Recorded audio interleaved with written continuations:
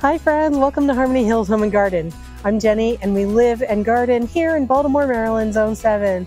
Today I am back again at the driveway fence garden. I've made some decisions about what to plant here and I'm gonna get some things into the ground. Come with me and let's start planting up some more things into this driveway fence garden. Now you may have seen some videos recently where I transplanted a rose bush to this fence garden. And then there was another one where I planted in some creeping phlox and some candy tuft and some daffodils. And then I recently posted a video about the ideas that I have for this entire 60 foot long driveway fence garden. And so, based on those ideas, I am ready to start implementing. Now, I'm still thinking about some of the elements, but I have decided I'm going to go ahead and plant three gray owl junipers uh, at regular intervals along the fence, every 20 feet or so down the fence. I'm going to put one up here in the corner by the stairs, and then 20 feet, and then 20 feet. And that will give me three distinct sections of gardens that are 20 feet wide. Now, in between those um, three gray owl junipers, in those 20 foot sections of garden, I'm going to have each section centered by something climbing on the fence. In this section, the one that I'm already pretty well underway with, this is a can-can rose. It's a climbing rose. It grows up to about 10 feet tall or wide in this case. And then I haven't yet picked anything to put into the second or the third garden sections, but I'm still thinking about those. Um, so today we're going to be working on planting three of these.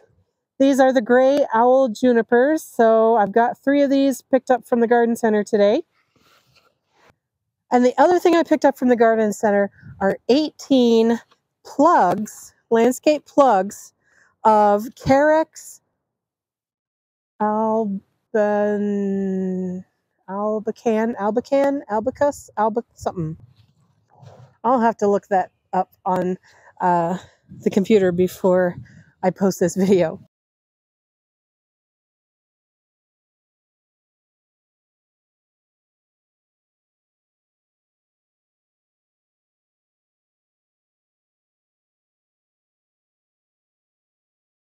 So uh, on my plan that I shared in my last video, I've got six sections of a poofy, tufty, kind of grassy kind of a situation. And I hadn't yet chosen what I was going to use for that. And I've decided I'm going to use the same thing all the way down the garden. And uh, I'm going to go with these Carexes. Now, this is a Carex that is pretty grassy looking. In fact, let's get up close on it. See, it actually does look like grass.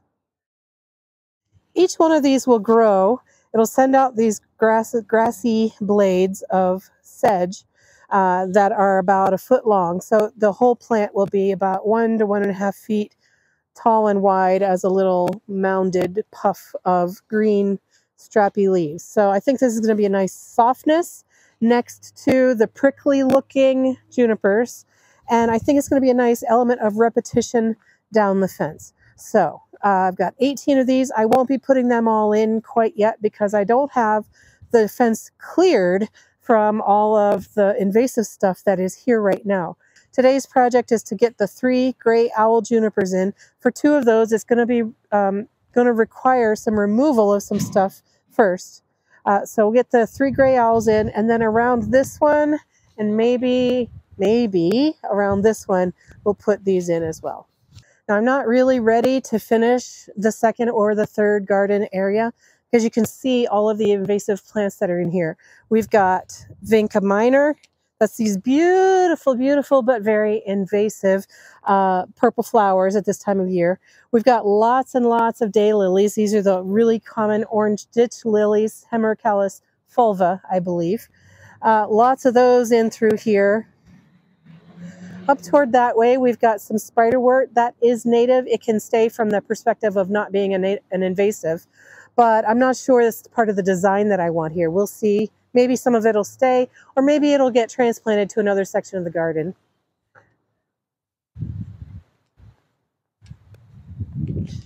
Down in this section, we have a whole lot of English ivy that needs to be taken out. There is English ivy up on that section too. We also have uh, still the vinca here, and there's some ajuga that I had put in a couple of years ago. It's kind of struggling, um, so it may or may not stay. I don't know yet.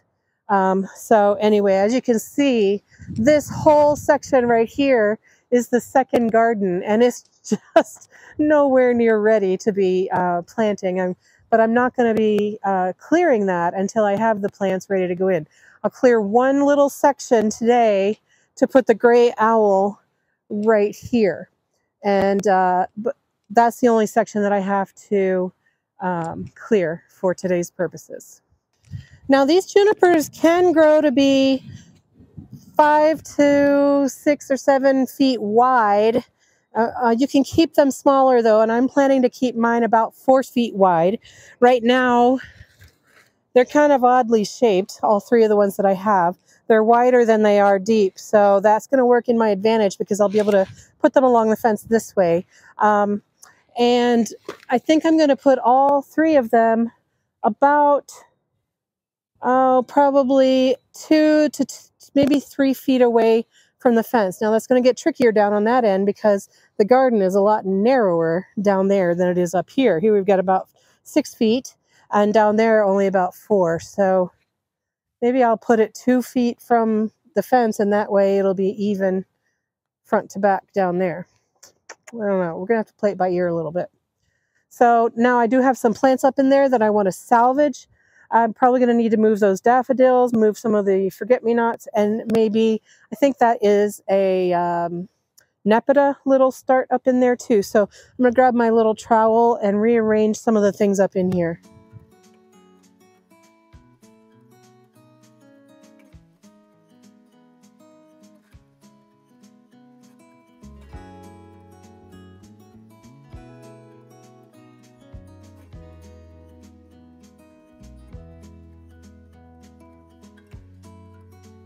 It's a bit precarious on this hill. I'm just going to commit to getting my hands all dirty today. I really don't want to fall down the hill, so I'm trying to be smart. These are forget-me-not plants that are get, just getting ready to bloom. I might set them back this year. In fact, I probably will be setting them back by doing this.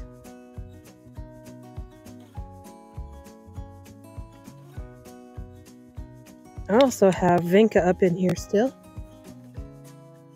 All right, this is a Nepeta. I'll just repurpose this somewhere else.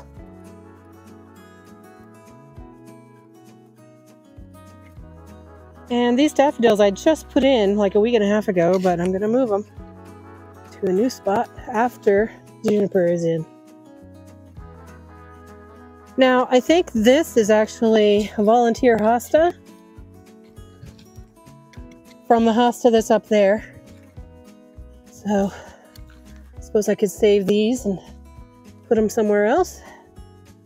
And then we got weeds.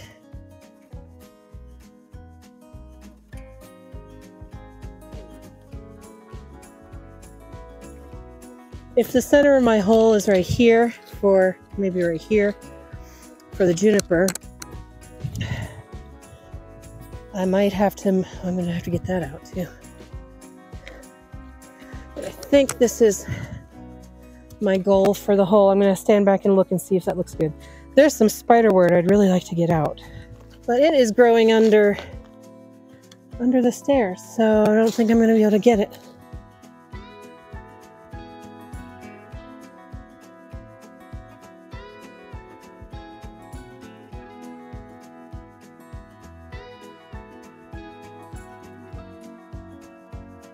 Okay, I can see now that hole is not in the right spot. It's got to be two feet off the fence and two feet off of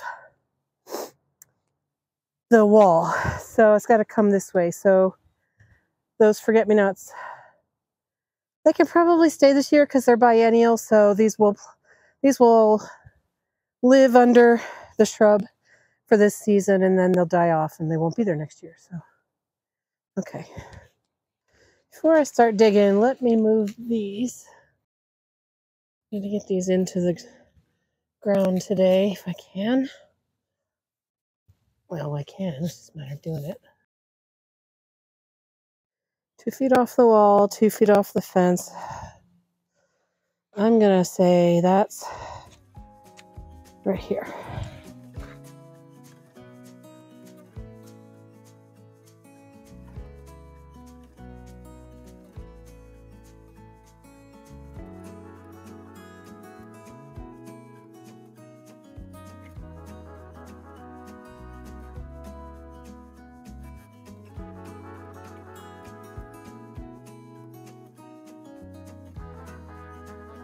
All right, I've got three gallon buckets that I need to fit in here. I think I need to keep digging.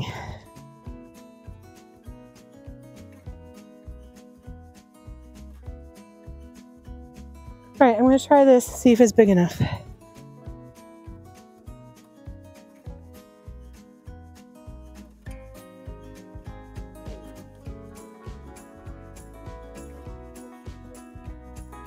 Plenty big. Let me get my fertilizer.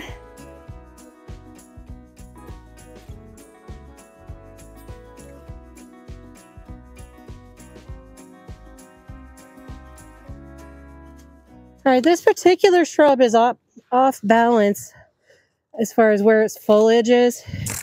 This the main stem is like right here, and all of its foliage is on this one side. So I'm actually might think I'm going to do it downhill, but I'm actually going to point all the foliage uphill, and then as it grows this way, uh, it'll fill out. That makes no sense.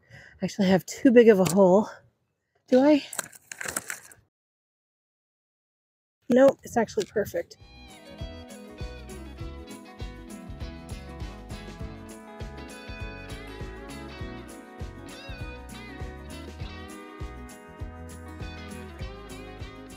So I planted the top of the pot level with the front of the slope. So the slope in the back is coming down toward the top of the pot. And I'm just leveling it out right here. And then I'm going to try really hard to make a bit of a ring of soil around the front so that when I water by hose right now, but by drip irrigation later in the season, the water will stay at the plant instead of just rolling right downhill. I use this method every time I put plant something on a slope. I got a little bit of a moat right here in front of the plant. All right, how's that look? I think it looks pretty good.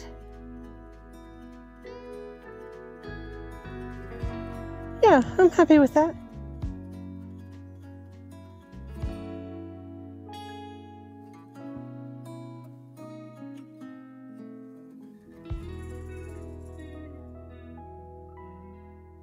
I mean, the foliage right now is about a third to a quarter. I mean, yeah, it'll get about three or four times as much foliage on here in the long term. It'll fill in this whole corner.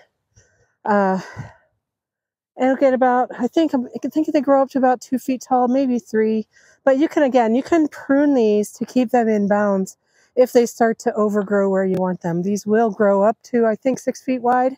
I don't want mine to be six feet wide. I want them to be about four feet wide. So I'm going to be working over over the time to make this a roughly three to four foot diameter circle with hopefully pretty fronds of juniper branches coming up like a fountain out of it over time. That's my long range vision for this. So I'm hoping to be able to do that.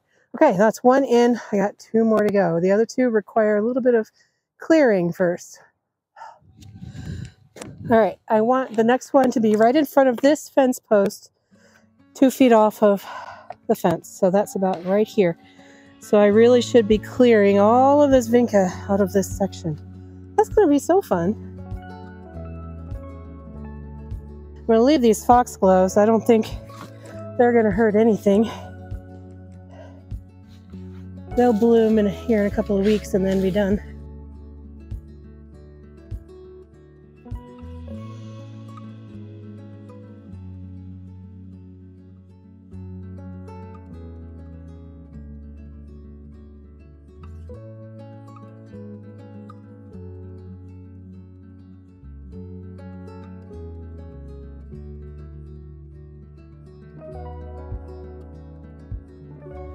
Oh, it's a hosta. I forgot I had a hosta here.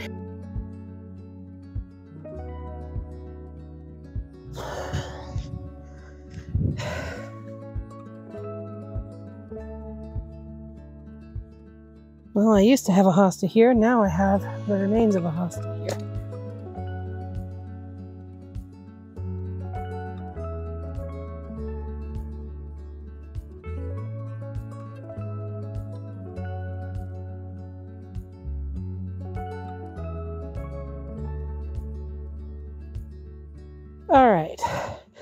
Think I've cleared enough for now. I'll obviously have to continue clearing in the future. But for the purposes of planting this juniper today, I've got it. So my post is right here.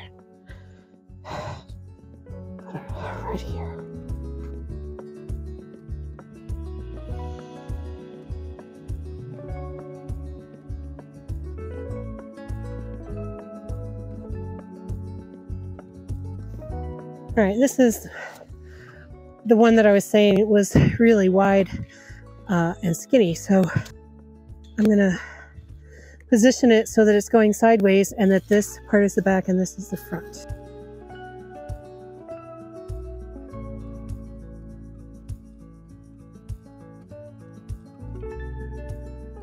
Now this one is not on such a steep slope and so the water runoff isn't as significant of a concern as it was on the other one, but I will still try to make a little bit of a an indention here in front to hold the water in in early days.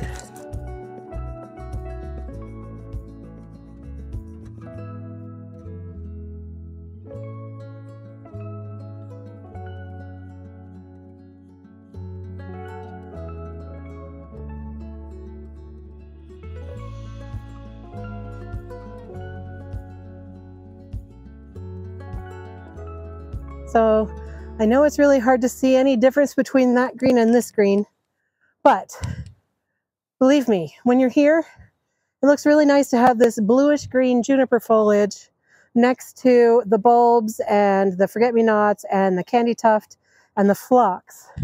And in the plan, there's going to be phlox on this side as well.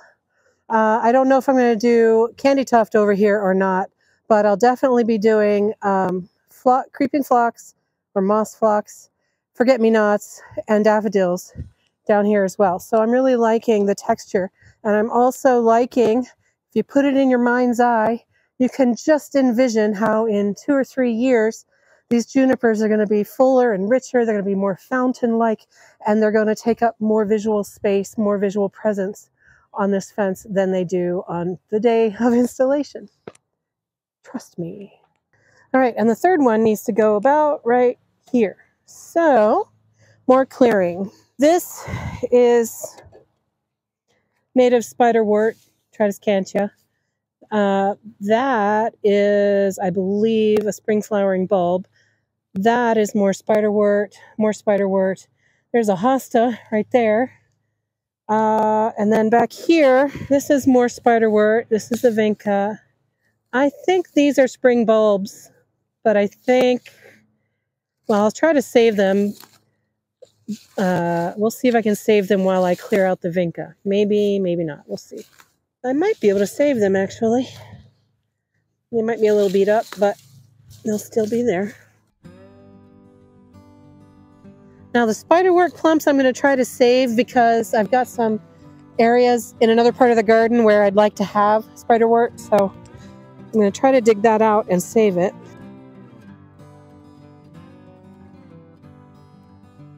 Yeah, that's a nice clump. That'll save really well. That is one of the ditch lilies. I'm glad I got that by the roots.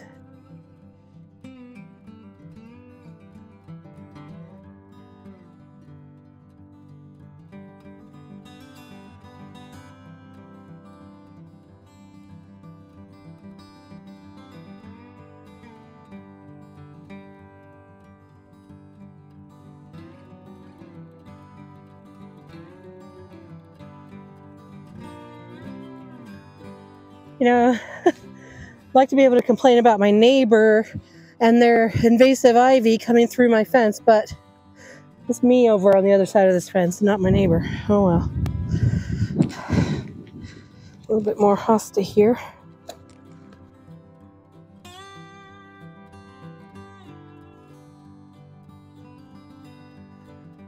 All right. Have I cleared enough? My hole's going to be right here. Spiderwort can stay for now. I'll get some more of this right here. All right. So, I'm to leave these bulbs there. I'm to put my hole about right here. Spiderwort, you can stay there for today. We'll clear the rest of this another day. All right.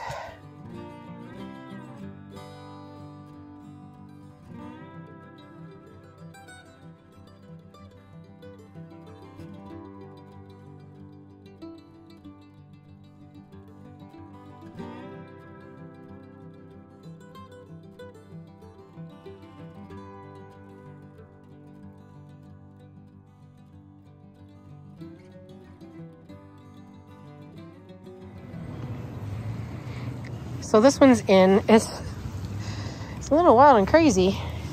It's got kind of a triangular shape. There's a thing going out there, a thing going out here, one going out here. So over time, it'll take on a nicer shape.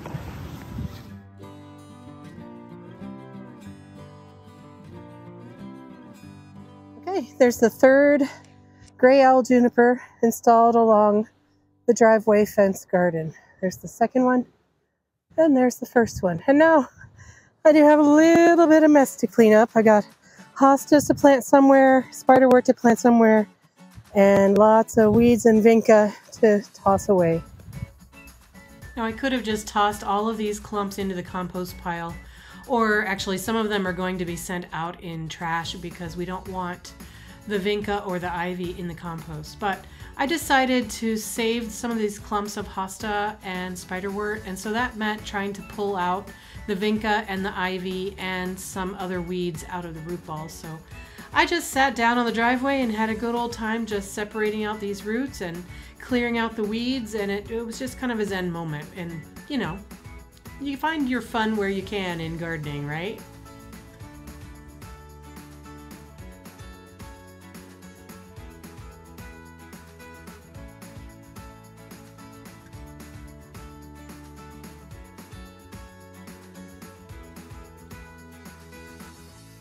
Now that I've got all those junipers in the ground, I need to uh, at least plant these daffodils uh, and hopefully also find spots for these forget-me-nots that I had dug out so unceremoniously. I think this daffodil needs to come up here along the back, which requires more billy goat behavior. Here we go. All right, I think I want it right here.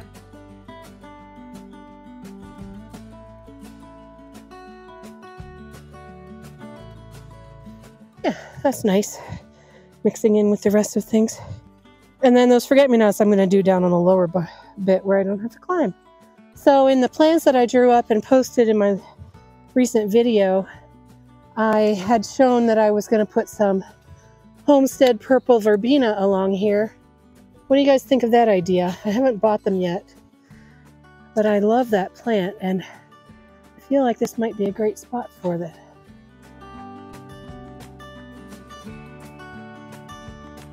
Like I said before, these forget-me-nots will bloom and then die, and then new plants will grow for next year. So these don't have to be put in places where, uh, what I mean to say is I don't have to leave space for things that I still want to plant in here. Mm, that's, okay. I don't have to leave space here because these aren't going to be here in a few weeks. Now these may not even do anything, especially this poor Nepeta. Where should I put this Nepeta?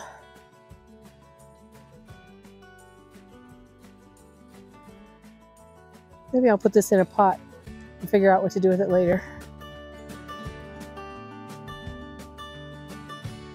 These may or may not live or die here. Well, they will either live or they will die here. Uh, they may not flower. I don't know. They, if they wilt and die, at least I tried. Okay, so let me get that tag off of there. It's bugging me.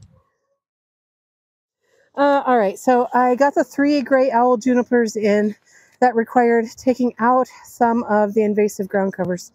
Um, and I am a little bit tired. It is cold and brisk out here. Uh, I think I'm going to wait for either more energy or warmer weather to continue. I'm going to be planting those 18 plugs of Carex albanicus, al- albicus, alba, I don't remember. Anyway, I'll be planting those plugs of Carex in groups of three on either side of each of these gray owls. I'm going to have one group of three on this one, but then the other two will have three on this side, three on the far side, and so forth. So 18 total uh, plugs of Carex that will be added to this mix here. And then I need to decide what to do about, am I doing Purple Homestead Verbena here or um, am I not? And if I'm not, what else am I going to do? I still need slope management. Uh, the Carex will help with that.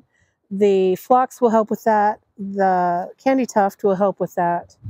Um, and so I need to finish out that plan.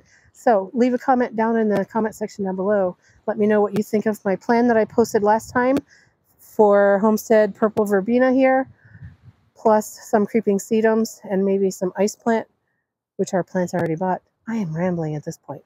So I'm not quite done with this bed, even this whole section here.